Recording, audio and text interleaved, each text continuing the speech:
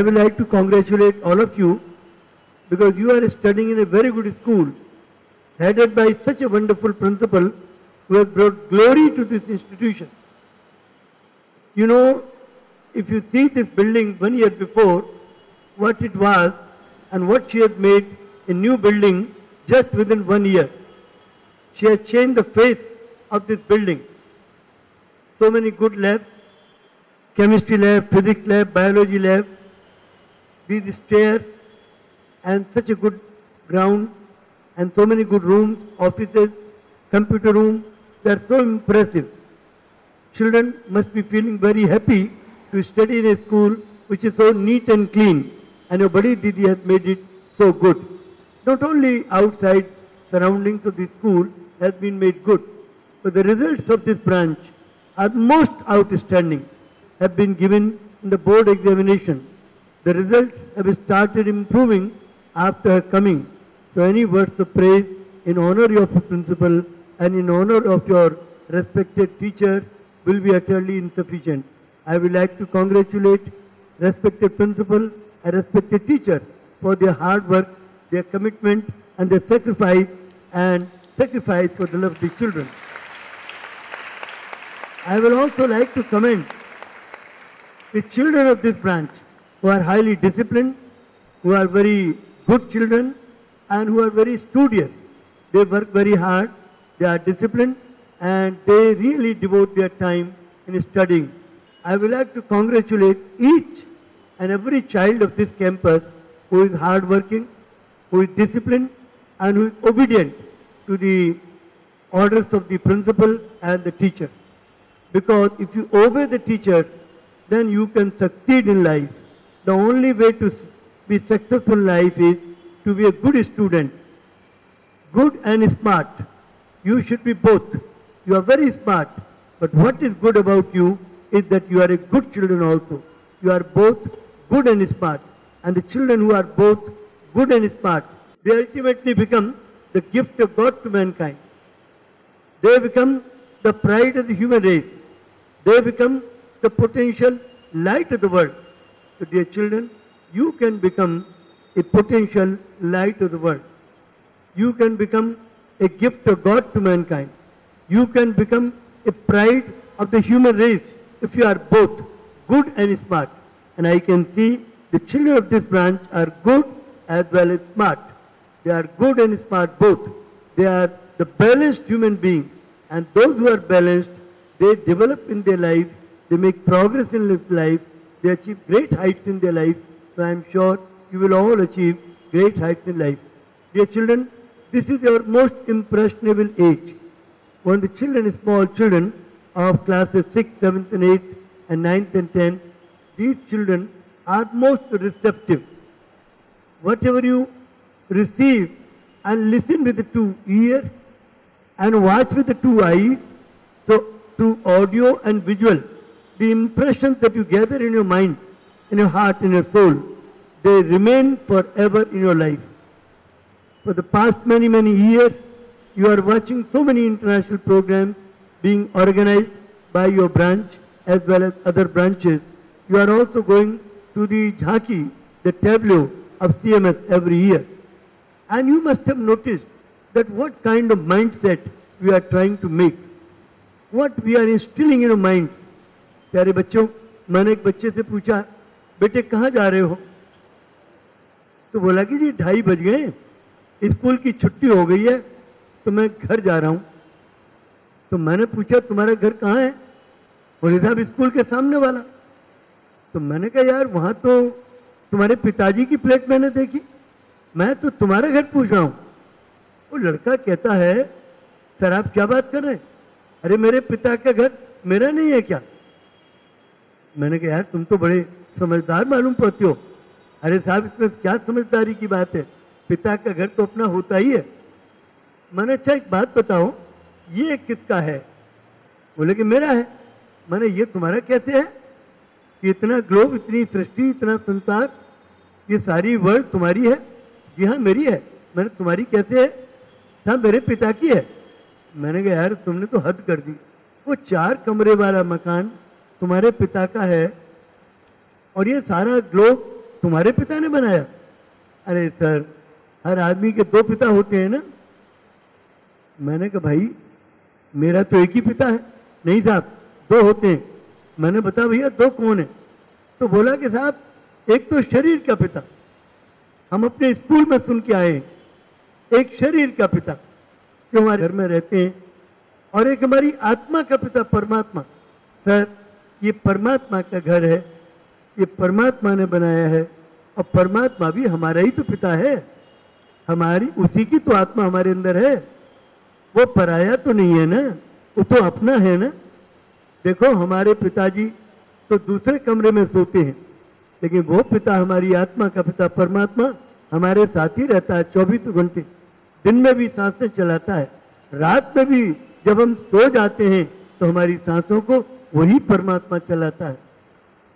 हम आँखों से देखते हैं, कान से सुनते हैं, वाणी बोलती है, मुँह खाता है, हाथ पैर हिलते डुलते हैं, मस्तिष्क काम करता है, सब इसीलिए कि परमात्मा की आत्मा हमारे अंदर है। लेकिन जब आत्मा निकल जाती है तो फिर न हाथ चलेगा, न कान सुनेगा, न वाणी बोलेगी, न मुँह खाएगा, न मस्तिष्क काम करेगा। तब फिर क्या करते हैं घर के लोग? कहते हुए ले जाओ, जला कर आओ या गाड़ कर आओ अब इसमें कुछ नहीं है, सब चला गया। कोई कहे कि, भैया, सत्तर किलो का वज़न मौजूद है, क्या चला गया? फ़ोटो ले लीजिए, सब कुछ मौजूद है। कहेंगे, नहीं नहीं भैया, ये तो सब मिट्टी है। सब कुछ गया। क्या चला गया? इसकी आत्मा निकल गई। वो आत्मा परमात्मा का अंश, परमात्मा में जाकर विलीन हो गई, उस, इसमें से निकल गई, सब कुछ चला गया। वो आत्मा जब चली जाती है तो सब कुछ चला जाता है और आत्मा है हमारे अंदर। तो फिर हमारी आँखें भी देख रही हैं, कान भी सुन रहे हैं, वाणी भी बोल रही है, मुँह भी खा रहा है, मस्तिष्क भी काम कर रहा है, हाथ पैर भी हिलते जुलते हैं, सब कुछ काम हो रहा है। लेकिन कब तक? जब तक कि हमारी आत्मा हमारे अंदर है। तो ये जो आत्मा का घर है, ये परमात्मा है, जिसने, जिसकी आत्मा हमारे अंदर है, ये उसका घर है तो वो हमारा अपना पिता है। वो चौबीसों घंटे हमारे साथ रहता है। जब हम अच्छा सोचते हैं तो अंदर से आवाज़ आती है, तुम ठीक सोच रहे हो। और जब हम बुरा सोचते हैं तो भी आवाज़ आती है, ये बात ठीक नहीं है, ये बुरी बात है। तो वो हमें अच्छे बुरे का ज्ञान कराता है, हमारी आत्मा में।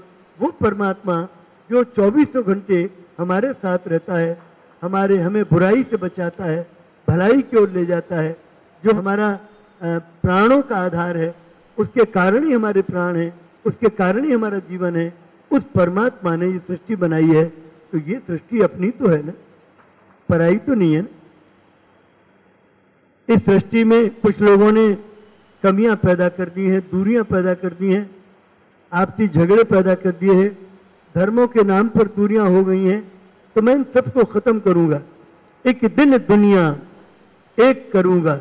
धरती स्वर्ग बनाऊँगा और विश्व शांति का सपना एक दिन सच करके दिखलाऊँगा। मैं सारे विश्व में शांति करूँगा, सारे विश्व में एकता लाऊँगा, क्योंकि ये सब ज़मीन है मेरी। ये आसमान है मेरा। मकीन हर मकान हूँ मैं, हर एक मकान है मेरा। मैं क्यों कहूँ कि बस मेरा वतन मुल्क हिंद है कि मैं हूँ सारे जहान का, सारा जहान है मेरा। तो प्यारे बच्चों, आप रोज़ाना एक प्रार्थना करते हो। प्रार्थना का अर्थ भी मैं आपको बताना चाहूँगा, बहुत ही महत्वपूर्ण प्रार्थना है।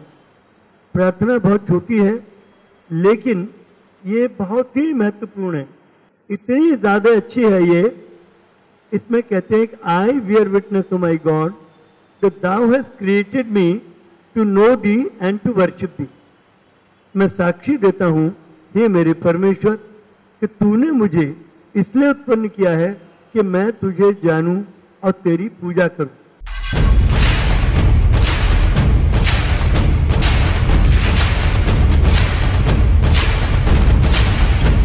यह थे, सिटी मॉन्टेसोरी स्कूल के संस्थापक प्रबंधक एवं प्रख्यात शिक्षाविद डॉक्टर जगदीश गांधी, जिनका मानना है, आज मानव जाति को जय जगत के नारे को बुलंद करने की आवश्यकता है, तथा विश्व में वास्तविक शांति लाने के लिए बच्चे ही सबसे सशक्त माध्यम हैं। डॉक्टर गांधी द्वारा शिक्षाप्रद आध्यात्मिक बातें इन प्रतिष्ठित चैनलों द्वारा नित्य प्रसारित की जाती हैं तथा रोज़ाना उनके विचार C M S F M radio नब्बे दशमलव चार मेगा हट से भी प्रसारित किए जाते हैं। छात्रों, शिक्षकों व अभिभावकों के मार्गदर्शन हेतु डॉक्टर जगदीश गांधी द्वारा लिखित पुस्तकें Sahitya Bharti international, Newman group, four C, Ansari road, Daryaganj, New Delhi, एक एक शून्य शून्य शून्य दो से प्राप्त की जा सकती हैं।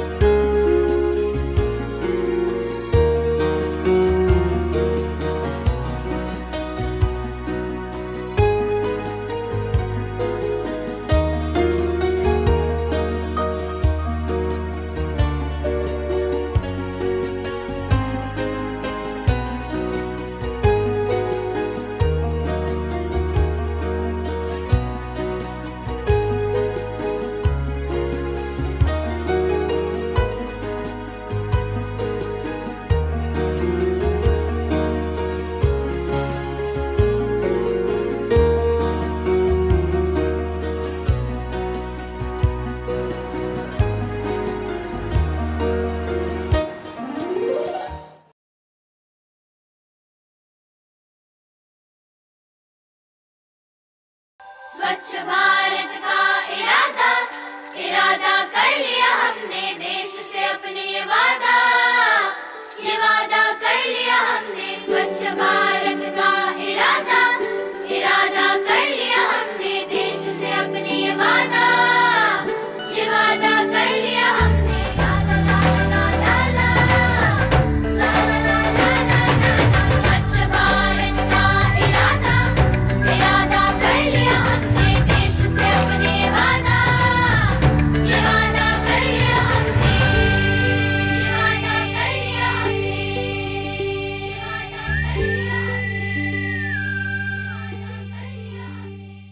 To heal the world with the power of Jai Jagat, City Montessori School since 1959 has been actively working to construct the defenses of peace in the minds of students, for which CMS in the year 2002 was awarded with the UNESCO Prize for Peace Education a Guinness World Record holder for being the largest city school in terms of number of students enrolled. CMS education revolves around the twin poles of godliness and globalism through four pillars of education, namely universal values, excellence in all things, global understanding, and service to humanity.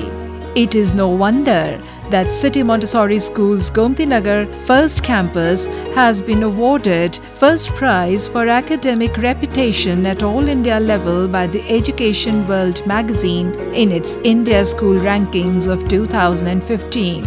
It is also awarded first prize for being the best co-ed school in Lucknow as well as in Uttar Pradesh. CMS founder Dr. Jagdish Gandhi has been motivating parents and generations of good and smart children through holding special prayer assemblies and divine education conferences.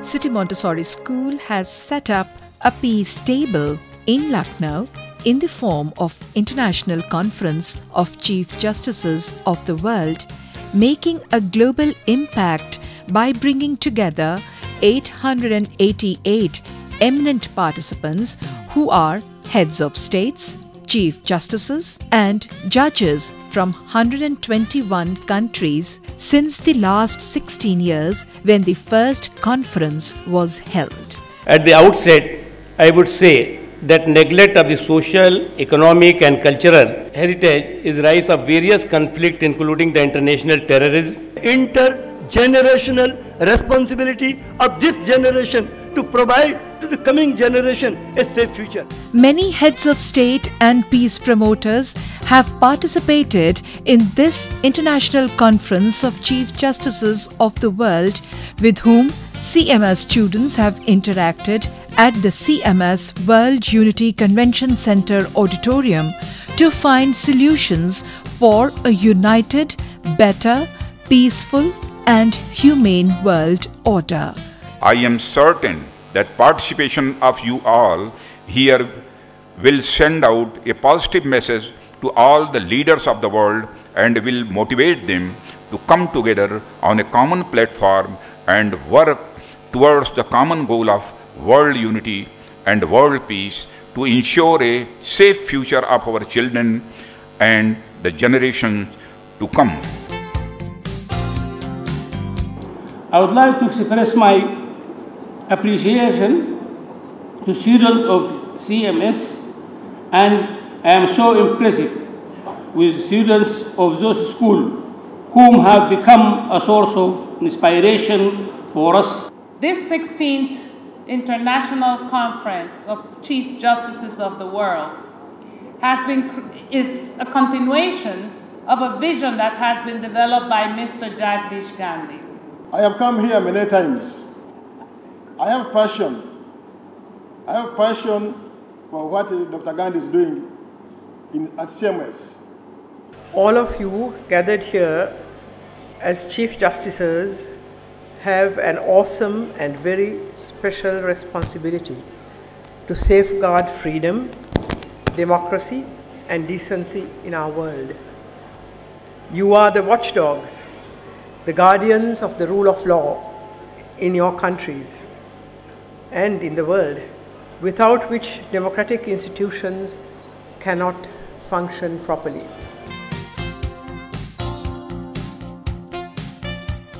In 2002, His Excellency Dr. Paul Kagame, President Republic of Rwanda, and His Excellency Sir Daniel Williams, Governor General of Grenada, shared the platform. In 2003, His Excellency Sir James R. Mancham, KBE, founding president and former PM Republic of Seychelles, supported the cause by participating. The conference of 2006 was attended by His Excellency Mr. Cassam Uteem, former President Republic of Mauritius, and His Excellency Mr. Archibald Lesao Lehohla, Deputy Prime Minister and Minister of Home Affairs, Lesotho. 2010 was graced by the renowned spiritual leader and Nobel laureate His Holiness the Dalai Lama, much to the excitement of children.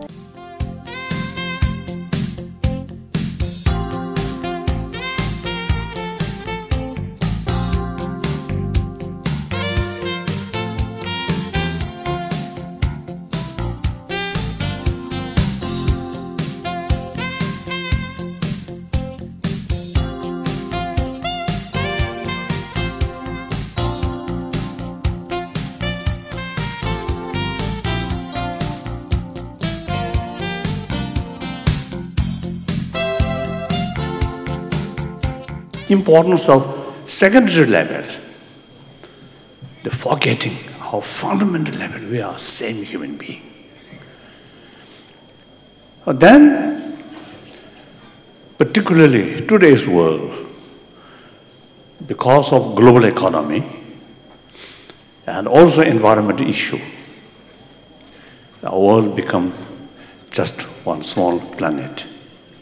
His Excellency Sir Iakoba T. Italeli, Governor General of Tuvalu, attended the conference in the year 2012. Mauritius' commitment to the Chief Justice's conference in building a robust, peaceful world is apparent when in 2013 the sitting president of Republic of Mauritius, His Excellency Mr. Rajkeswur Purryag, attended and stayed for the entire length of the conference. In 2014, the International Conference of Chief Justices of the World, the World Summit on Article 51 of the Constitution of India was represented by His Excellency Mr. Kgalema Motlanthe, President of Republic of South Africa, His Excellency Mr. Stjepan Mesić, President, Republic of Croatia, His Excellency Mr. Emil Constantinescu, President of Republic of Romania, His Excellency Mr. Rexhep Meidani, President of Republic of Albania, His Excellency Mr. Ludwig Scotty, former President of Nauru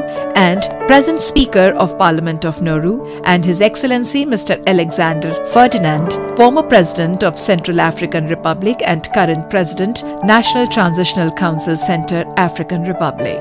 This year, His Excellency Ms. Chandrika Kumaratunga, President, Republic of Sri Lanka, His Excellency Mr. Stjepan Mesić, President, Republic of Croatia, and His Excellency Sir Rodney Errey Lawrence Williams, Governor General of Antigua and Barbuda, added a lot of value to the conference. Since 2001, eminent governors, chief ministers, speakers, ministers, ambassadors, and high commissioners from India and abroad have participated in the International Conference of Chief Justices of the World.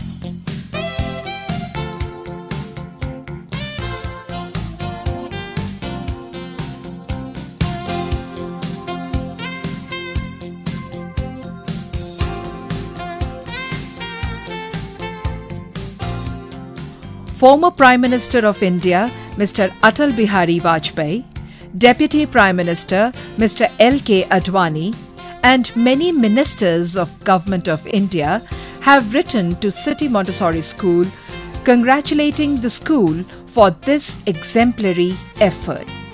In response to a letter of request sent by Dr. Jagdish Gandhi urging United Nations to take immediate action to save the world, the then Secretary General Dr. Kofi Annan wrote back saying, We at the United Nations can do nothing alone. Our strength is the strength of our member states when they agree to act together for the common good. Concluding his letter, Dr. Kofi Annan lauded CMS's efforts by saying, It gives me great pleasure to extend to the World Peace Prayer Society and the City Montessori School of Lucknow my best wishes for a successful, memorable International Peace Festival. He ended with a strong message I am counting on you all. Jai Jagat.